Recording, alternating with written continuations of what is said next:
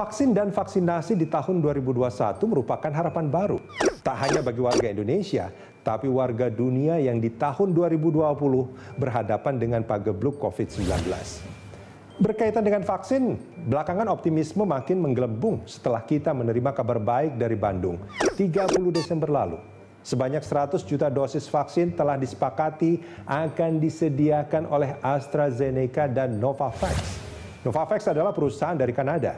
Jenis vaksin dari dua perusahaan besar dunia ini, satu dari Kanada Amerika Novavax, satu lagi dari Inggris Eropa untuk AstraZeneca, memberikan variasi yang cukup Langkah tadi melengkapi pengadaan vaksin sebelumnya, di mana Sinovac telah mengirim 1,2 juta dosis vaksin di awal Desember lalu dan mengirim lagi 1,8 juta dosis untuk tahap pertama, tepat di hari terakhir tahun 2020.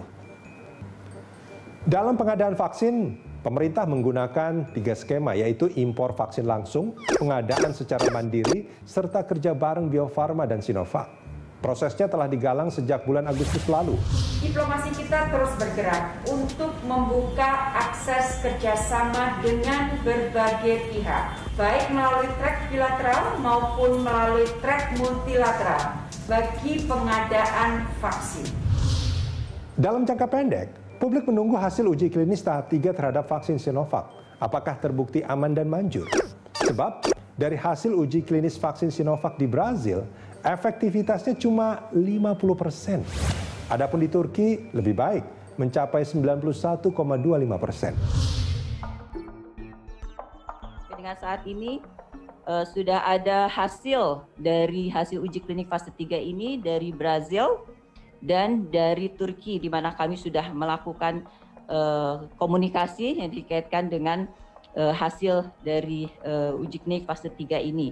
Uh, di mana uh, uh, dalam komunikasi tersebut juga didapatkan data-data yang konsisten dengan data yang didapatkan di Bandung. Sembari menyiapkan dua tahapan penting lainnya yaitu mekanisme distribusi serta penyuntikan vaksin kepada masyarakat, sebaiknya pemerintah, terutama Kementerian Kesehatan, tidak melupakan satu hal, yakni opini atau pendapat masyarakat tentang vaksin dan vaksinasi. Masyarakat memang percaya alias yakin pemerintah dapat mengadakan vaksin. Tapi untuk urusan vaksinasi COVID-19 ini lain lagi.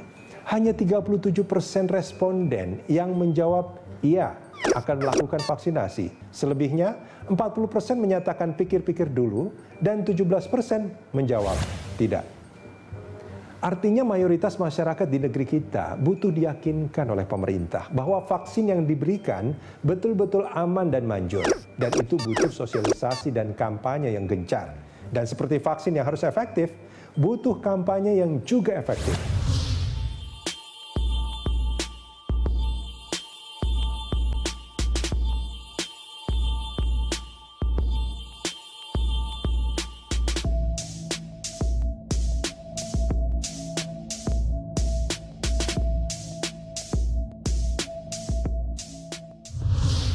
Vaksin dari Sinovac telah tiba. Vaksin lainnya dari beberapa perusahaan farmasi yang digandeng pemerintah bakal menyusul. Tapi jangan euforia dulu. Apalagi menganggap vaksin adalah game changer. Vaksin merupakan cara kita kembali kepada kehidupan normal lama. Ini belum tentu karena negara-negara yang sedang dan telah melakukan vaksinasi masih menunggu hasilnya dengan harap-harap cemas. Sekalipun vaksinasi telah dilakukan, Pakar epidemiologi mengingatkan agar masyarakat tetap taat menjalankan protokol kesehatan. Saat ini, menyaksikan mutasi COVID-19 seperti yang terjadi di Inggris, protokol 3M dinilai tak cukup.